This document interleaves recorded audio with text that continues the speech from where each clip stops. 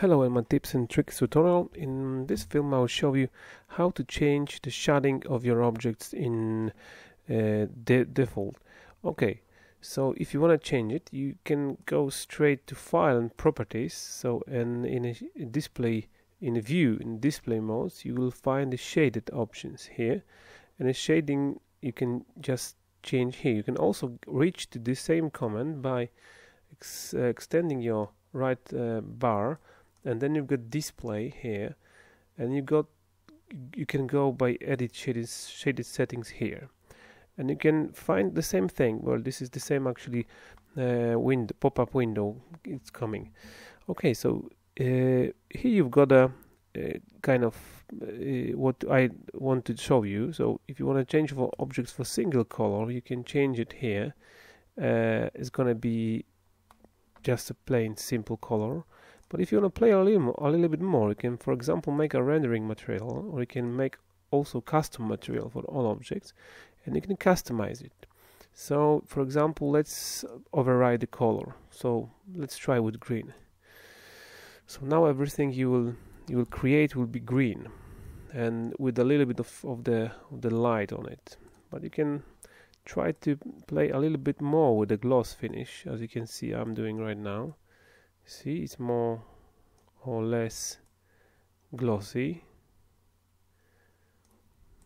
And it it's it can be actually uh, in your on your computer much more or, or, or the same visible as mine. It also depends of the your uh, properties of your graphic card on computer. Sometimes it doesn't work well on windows. I don't know actually why. Uh, but uh, you can try to play with these settings I prefer I prefer to work in a object color like this. This is much easier for me. And if you want to check, uh, if you want to check if you have uh, your settings done, you can you can go here and try to play with these settings as well.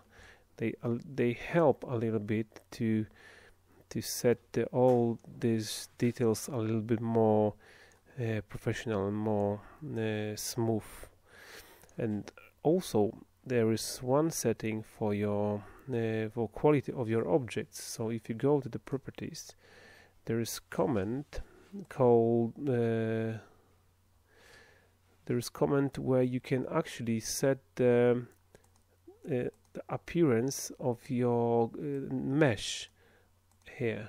And it's if you get if you have a much better computer uh, than mine or you've got uh, really uh, powerful machine. You can change for smooth and slower so your uh, your objects will be much more precise than than uh, before if you change for smooth.